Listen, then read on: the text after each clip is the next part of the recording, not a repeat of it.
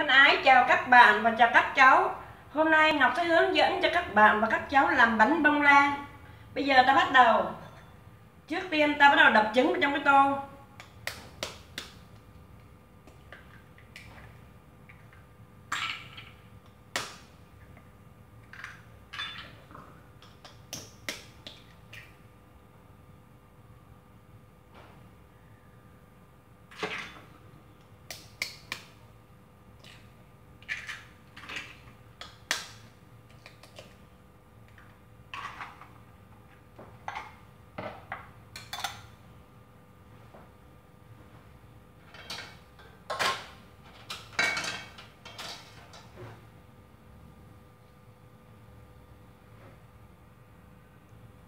Bây giờ ta bắt đầu nặn vào trong đây một miếng chanh.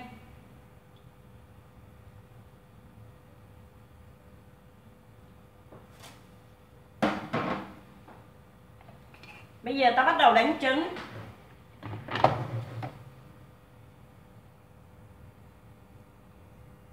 Bây giờ ta cho vào đây một chút vani.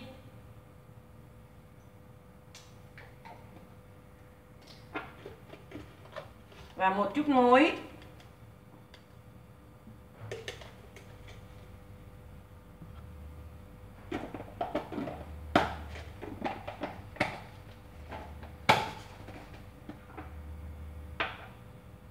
ta bắt đầu đánh trứng.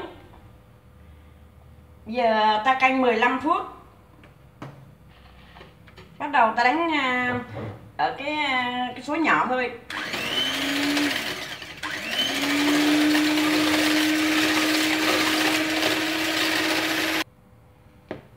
Bây giờ thì trứng của ta đã nổi cái bọt ta to rồi, ta bắt đầu đổ đường vào đánh. Ta đổ từ từ thôi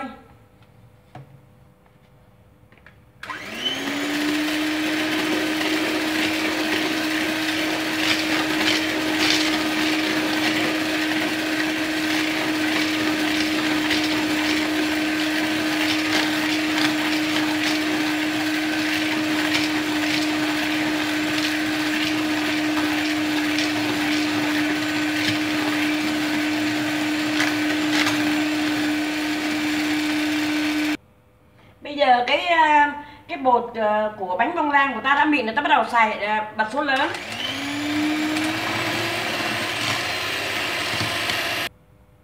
Bây giờ ta bỏ vào đây 30 g sữa tươi.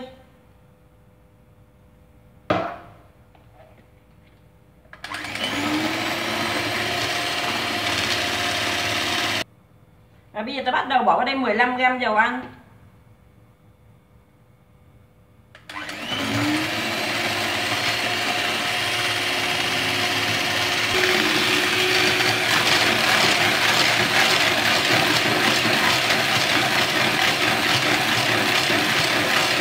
mình đánh trứng á, các bạn và các cháu đánh vòng tròn như vậy nè có một cái cây tròn như này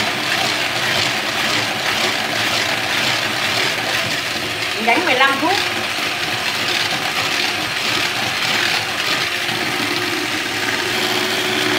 bây giờ ta đánh được 15 phút rồi ta bắt đầu tắt tắt máy như vậy từ này nhỏ thôi. Các cháu ạ như là nó sẽ văng.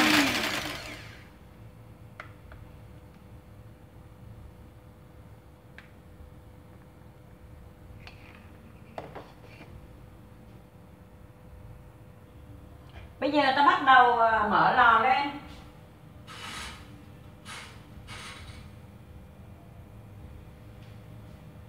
Bây giờ ta bắt đầu bỏ bột vào trong ờ, trong trong rơi bột trong này là các bạn và các cháu ạ. À. Giờ nó bắt đầu rơi bột vào trong trong cái cái tô này.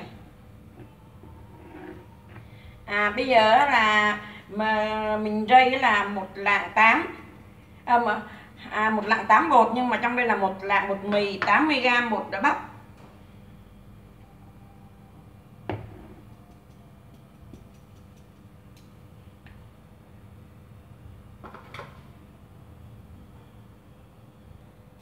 cái bột này á, ta không nên quậy nhiều quá quậy nhiều quá là bánh nó sẽ không nổi.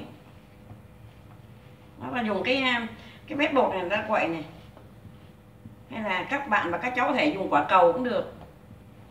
Nhưng mà dùng cái này tiện hơn này để nó bét được bột.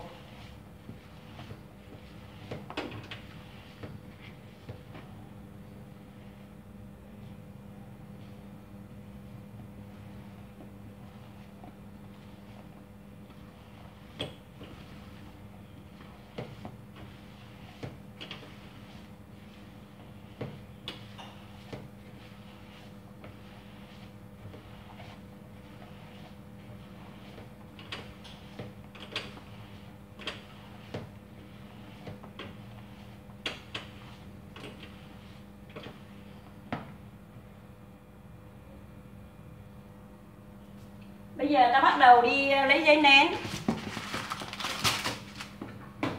Và ta lấy cái khuôn này, ta để trên này, ta ta vẽ chữ.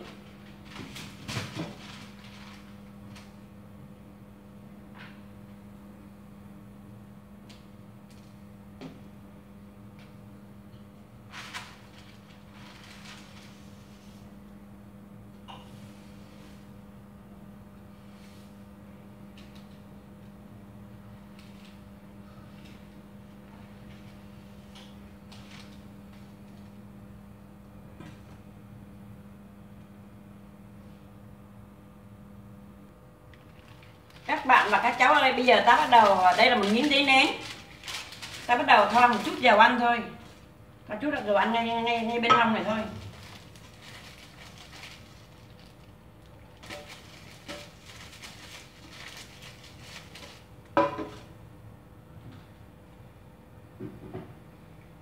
Bây giờ ta bắt đầu à, đặt miếng giấy nén vào trong trong cái khuôn này.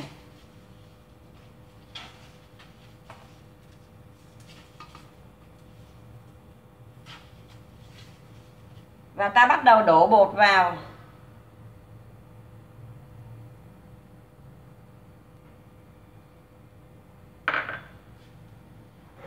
Ta bắt đầu đổ bột vào khuôn.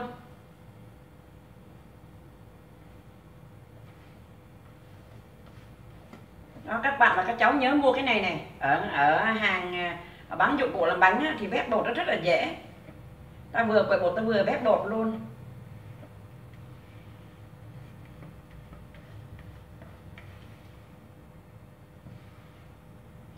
Và các bạn và các cháu ơi à, mình xài là hai lạng 7 trứng còn một lạng 8 đường một lạng 8 bột tức là bột bột và đường là 2 phần 3 của trứng. Hai lạng 7 bơ trứng 5 quả trứng 2 lạng 7 còn bột với đường là một lạng 8 tức là 2 phần 3 của trứng.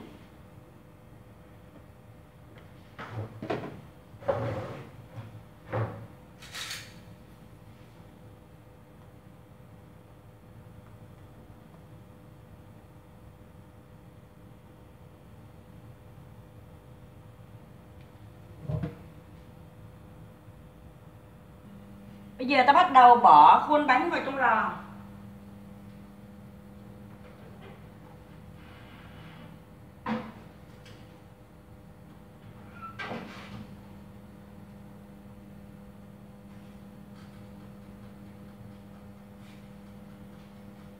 Mình để cả lửa trên và lửa dưới nha các bạn và các cháu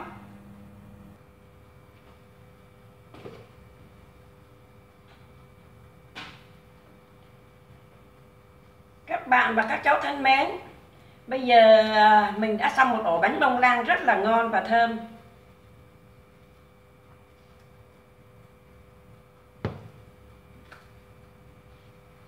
Đây là một ổ bánh bông lan rất là ngon và thơm. Và tiền đây á, có có hôm bữa có một cháu hỏi hỏi cô rằng cô mua máy đánh trứng bao nhiêu và hiệu gì thì cô thì cô chả biết nó là cái hiệu gì hết cái chữ anh chữ pháp gì cô không biết. Nhưng mà đây là một cái máy đánh trứng và cô mua là không biết là bao nhiêu cũng quên rồi. Và cái trong trống của nó là là, là là là giống như quả cầu với các cháu này. Đó. Trong trống của nó như quả cầu này nè mà cái bánh trứng như vậy. Cô mua không biết là bao nhiêu một trăm mấy cô quên mất rồi. Đây là cái hộp của nó đây. Có một cháu hỏi cô là cái máy đánh trứng mua bao nhiêu và hiệu gì thì cái này chữ Anh cô chả biết là cái hiệu gì cô đâu biết chữ Anh đâu. Và à, mình cũng xin giới thiệu cho các bạn là cái cháu đây là ổ bánh bông lan thì mình chả biết nó bao nhiêu phút mình thấy nó vàng là mình mình lấy ra mình quên chẳng để giờ nữa cứ bỏ vô xong cứ canh bằng vàng là lấy ra thôi.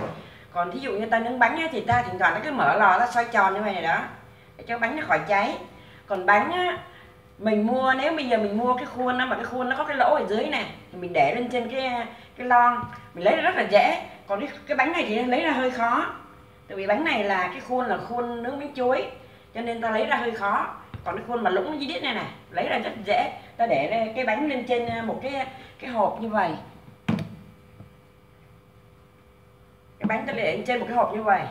Cái ta lấy ra rất là nhanh nhưng mà cái này là không có cái kiểu là khuôn đó. Cho nên lấy ra hơi khó một tí thì ta có thể nguội trong đấy là được.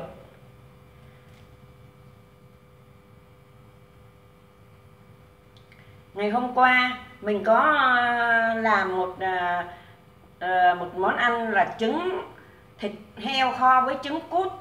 Nhưng mà vì sự cố mình không tải lên được.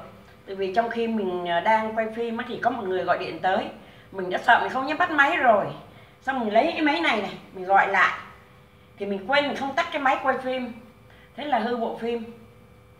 Cho nên là ngày qua đúng ra là tải lên ờ, thịt heo kho với trứng cút. Nhưng mà không tải lên được. Mình rất là tiếc nhưng mà không biết làm sao. Mình biết chắc là hôm qua chắc có nhiều người mở ra coi nhưng mà không thấy video của mình.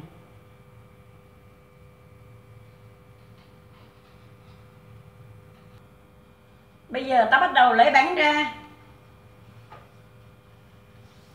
Ta lấy cái dao ta, ta, ta, ta ấy chung quanh như vậy. Xong rồi ta lấy bàn tay.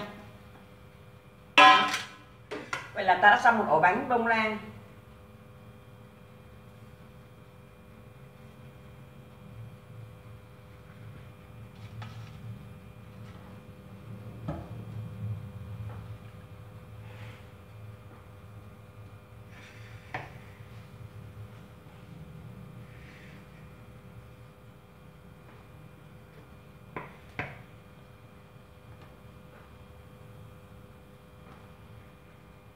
Nó các bạn và các cháu nhìn ở bánh bông lan này.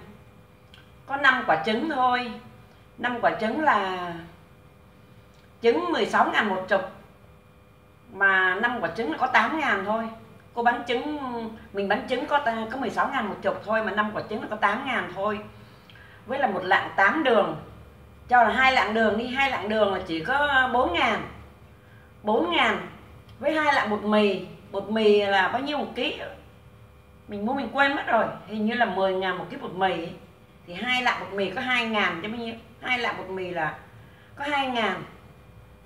2 ngàn bột mì với 4 ngàn đường là 6 ngàn. 6 ngàn với 8 ngàn trứng là 14 ngàn. Rồi mình đứng điện nữa là được mổ bánh rất là ngon. Và ăn không sợ gì hết. Không sợ là mình à, mình đi ăn ngoài ngoài chợ họ nhiều khi họ cho pha pha bột sữa, mà sữa Trung Quốc nó béo nhưng mà là gọi là sữa Trung Quốc. Kem cũng vậy. Kem mà kem hộp ạ. Là các bạn và các cháu biết rằng họ sẽ pha sữa và sữa bột. Mà sữa bột là hay của Trung Quốc đó, nó rẻ. Cho nên tốt nhất ta lên làm được thì ta làm được ta ăn rất là dễ. Có mình tránh được cái gì mình tránh. Coi như là 8 ngàn trứng. Một lạng 8 đường cho hai lạng đi. Hai lạng hai lạng là chỉ có ờ, 4 ngàn thôi.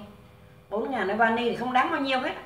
Còn ờ, bột mì với bột bắp thì là có 10 ngàn một ký à. bột bắp cô mua nhiêu cô quên mất rồi. Rồi có hai lạng bột ờ, chưa tới hai lạng là 4 ngàn thôi. Vậy là ta đã thành công.